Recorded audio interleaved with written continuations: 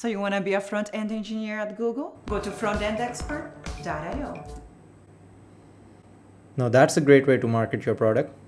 What's up everyone, welcome to another video. And today I'm bringing you another interesting topic, which is frontendexpert.io. And this is another product. It's like another sideline product to Algo Expert And it is meant for all the front-end engineers out there who are struggling to do their interviews, who may be struggling to prep for their interviews. And it's meant to help you with that. And today I'll be going over the product in depth and I'll be providing some of my insight on whether this product is really beneficial, whether it covers all of the topics or maybe some topics that are very, very crucial for your front end interviews. And in general, I'll be just sharing from my own personal front end interview experiences because I have personally interviewed a lot for front end roles. I, you know, did my front end engineering internship at Facebook. And even for my full time roles, I applied a lot for front end positions. So I think that I might be in a good position to, you know, really commentate over this product and whether it's good for you to prepare for your front end interviews. So let's just start off with, you know, talking about about the pricing of this product and how much it will cost you. So as we can see over here, I'm on the purchase page and we can see that Algo Expert is being offered for $39 over here. If you go to Frontend Expert, we can see that it's being offered for $39 alone if you buy only the single product, but you can buy the front-end interview bundle, which is for $62. And this will also come with the Algo Expert. And I would really suggest you that if you're to buy front-end expert, then you should buy Algo Expert. If you're not buying Algo Expert or if you're like satisfied satisfied with your LeetCode or whatever platform that, that you're using, then I would suggest that you stick with that platform. But then again, I have made a video where I go over AlgoExpert versus LeetCode in detail, and you can check that out as well. I'm just saying that on a side note, front-end interviews do not mean that you only have to prepare for your front-end interviews. It will also mean that you will also have to focus on your LeetCode questions or your AlgoExpert questions, and those type of questions might be asked. So in a typical front-end interview, you are going to be be assessed on both of these things. So you will be assessed on your front end uh, skills as well, as well as your problem solving skills. So as they say that a front end engineer is a software engineer first. So be mindful of that while preparing for your interviews. So let's just dive right into the product and I'll open up my platform over here. So you guys can see that I have front end expert and there's a bunch of sections over here, which is pretty interesting. So you have the front end interview questions. You have an HTML crash course. You have a CSS crash crash course and a JavaScript crash course. You have React as well, which is good because in a lot of front-end interviews, you are going to be assessed on React. Not in all of the interviews, it will really depend on the company that you're interviewing for. For example, at my Facebook interview, I was only required to know HTML, CSS, and JavaScript. And that was the only thing. There was no React involved, even though it is interesting that Facebook is the one who made React, but they didn't really assess you on it. So that is something that you might want to keep in mind. And there are web dev fundamentals, which is also interesting. And then there's a quiz section. So you have a quite a lot of things that comes with this product and this is interesting. And if I go to front end interview questions, there are 35 interview questions available right now. So while there are 35 questions available right now, when you're watching this video, there might be more available because the team that is the front end expert IO team, they're working on putting more questions into the platform. So for the questions, you can see that they have divided it into categories. There are JavaScript questions, there are DOM manipulation questions, CSS, HTML, and there are even some React components which are covered over here. So this is really nice. I think that they have divided it into like ample sections or like good sections so that you have a bunch of practice on all of the fundamental topics that are required for your front end interviews. So we can see over here that there's like a blog post in HTML. And if we open that up, we can see that there's the prompt given over here. Apart from the prompt, you have like the solution. So you're basically required to write your HTML over here. And we can see that inside of the solutions there's like the solution totally consists of HTML so this is really nice. And you can also see your browser output over here. So they have a section where they show you your browser output. So right now it looks like plain text but as you're gonna add your HTML it's gonna change for you accordingly. So I think that this is really cool. This is something which I haven't really seen you know in other platforms. And I think that this is interesting in how it works even though I haven't used it. And similar to AlgoExpert we have the video explanation over here. So you can also watch that. And it's a nice 10 minute explanation. So for CSS, there's also like similar kind. You have playground over here for code that you can write for your CSS. You have the browser output, which is totally plain right now. And as you're writing your CSS, it's going to change for you accordingly. So I think that this is pretty neat. It will give you a bunch of practice over some of the fundamental concepts that you need to learn. The solution and the video explanation will also provide you with, you know, something to back up or to fall back on if you're you're really stuck on the question. And this is pretty neat, I would say. For JavaScript, I'm really surprised that you have only eight questions because JavaScript is the most tested thing in a front end interview. So either it's going to be a lot of React or a lot of JavaScript. So I don't think that you need to be really, really good at HTML or CSS to crack your front end interviews, but you need to be really good at JavaScript. And I can see a few interesting topics over here. I can see debouncing. I've made a video on this for JavaScript. I can see throttling. I've also made a video on this as well. There are some good topics over here, but then again, I would suggest not to completely rely on this. There are definitely more topics that you need to learn. You need to be able to you know learn the difference between maybe like call apply and bind. And i know that they have like made a, a question over here but there's then the concept of prototypal inheritance. And there are like several other topics. There's hoisting there's closures. There are a lot of things that you need to learn in javascript for the interviews. And i think that this is something that i'll make a separate video on where i'll go over some of the essential topics that you need to crack your front end interviews but if i were you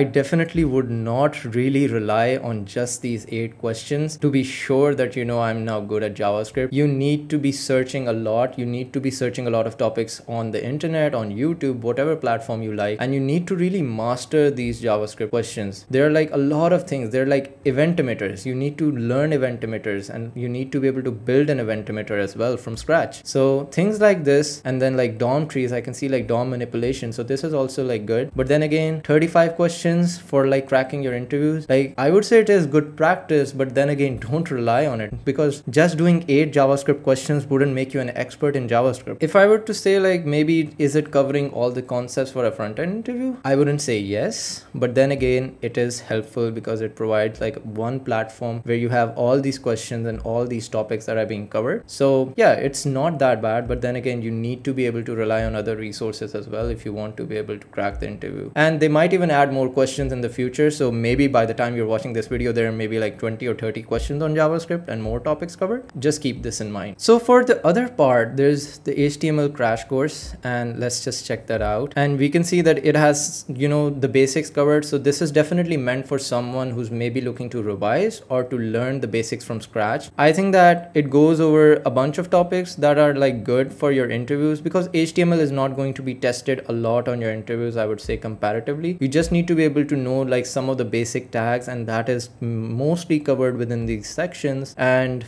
you know i really like this that they have key terms. So this is really helpful that if you're watching a video and you need to search up a key term or want to learn about that they even have like these these breaks in between their videos where you can like search by topic right? And this is good because if you want to learn a key term then you can just go to that part of the video and learn that. And if you move on to like the css crash course i think that it's uh pretty similar as well. We have all of these things and this is really good. This is in detail i would say. And they're going over responsive design css grids flexbox. So in most front-end interviews you would need to be able to position things. You need to be able to position your elements. That is the most important thing right? In in any interview i would say. Like in a front-end interview the the most that they're gonna ask you to do is basically let's say that you have a bunch of cards and you need to be able to you know assign them into a row or display them like maybe netflix displays their movies right? Flexbox or css grids is gonna help you with that. Learn positioning learn the difference between you know absolute positioning and relative positioning and stuff like that and you're going to be good to go i would say. I don't think that you would require a lot of advanced css in your front end interviews especially if this is for new grad positions or like internships. It's definitely not going to be tested in that much detail but i think that this crash course is like really good. It goes over like the bunch the